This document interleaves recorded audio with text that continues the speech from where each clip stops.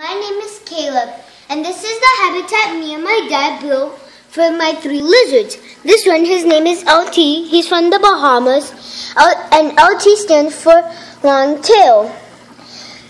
And this one, his name is Shadow, and he's not sick. He's just shedding his skin. And this one, he's his name is Greeny because once he turned really green and he turns green sometimes. And they eat live crickets. Bye. Hope you enjoy this video.